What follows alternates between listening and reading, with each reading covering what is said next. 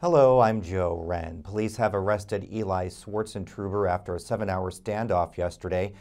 It all started when police received reports of a man swinging a metal bar at a group of people in Seminary Park. He fled into a storm drain where he threatened police that he had a rifle. Two loud bangs heard by eyewitnesses were not gunfire. An officer believes they could have been flashbangs deployed by the SWAT team.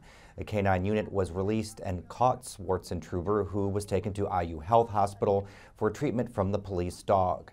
Swartzentruber is now in Monroe County Jail with multiple charges. No firearms were found.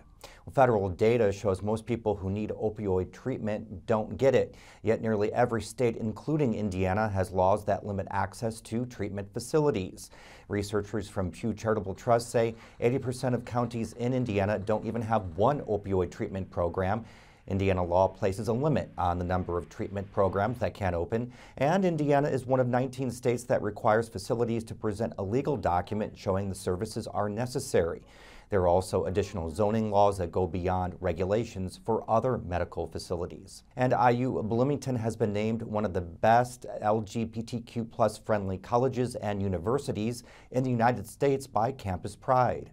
I think the recognition really is recognizing the fact that we have these resources that creates a environment to be supportive of the community.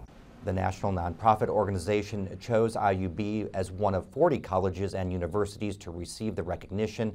Now, a quick check of the forecast for tonight. Scattered showers, lows down to 60 degrees in the five day forecast. Tomorrow, sunny at 71 degrees, a bit cooler on Friday. More news online, WTIUnews.org.